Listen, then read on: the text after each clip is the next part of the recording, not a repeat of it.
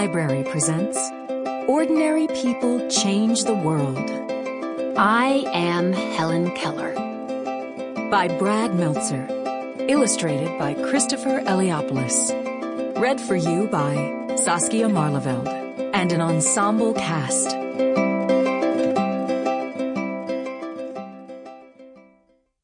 I am Helen Keller. When I was little, I was just like you.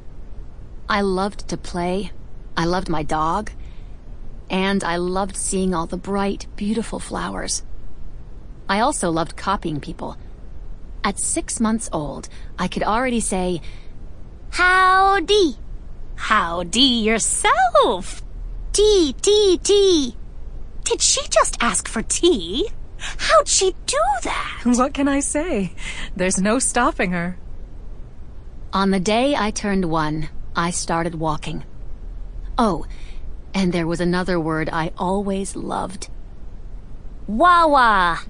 Here's your water. Just like any other kid, right? But there's one thing that made me different.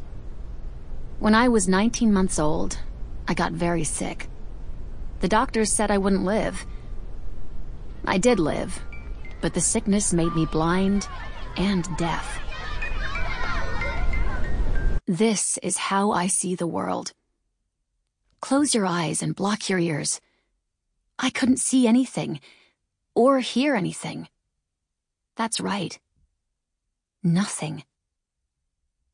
I know it seems scary. It was scary for me too. Back then, people didn't know how to deal with someone who was deaf and blind. My relatives thought I was a monster. Wah, wah, wah, wah! You see the way she behaves.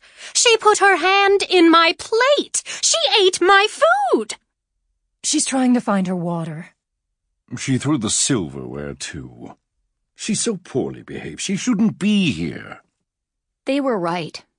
I wasn't well behaved. I was extremely frustrated. In my dark world, I couldn't tell if anyone noticed me or cared about me.